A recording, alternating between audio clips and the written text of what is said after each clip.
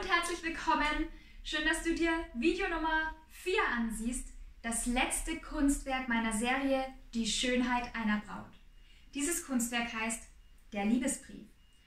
Und diese Serie ist sehr besonders für mich und besonders dieses letzte Kunstwerk hat eine sehr tiefe Bedeutung. Und ich zeige dir gleich im Anschluss den Malprozess und spreche wieder ein paar inspirierende Worte für dich. Hier ist das Kunstwerk, eine Braut, die einen roten Brief der Liebe in der Hand hält.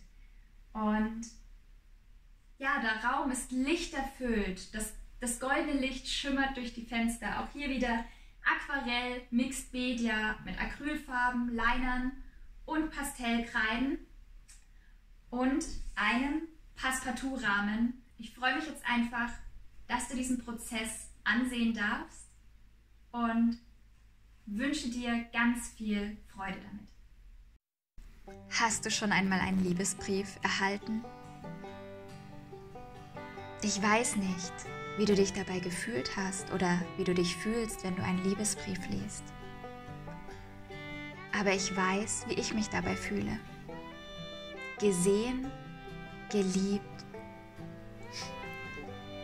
berührt, geachtet und wertgeschätzt.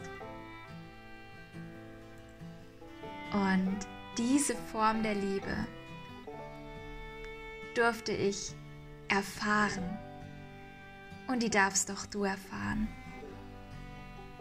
Gottes Wort ist wie ein Liebesbrief. Es ist der schönste Liebesbrief, der jemals niedergeschrieben wurde.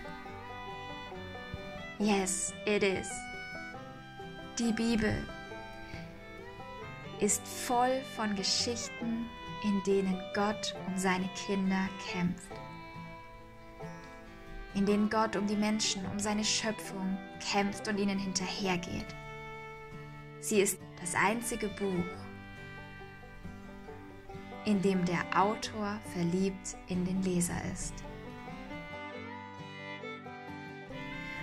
Und weißt du was?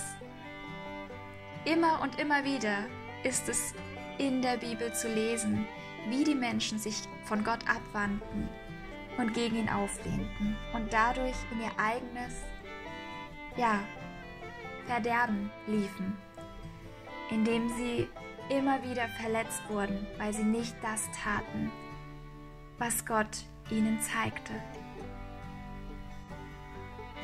Und ich glaube, genau darin finden wir heute die Parallele ganz oft.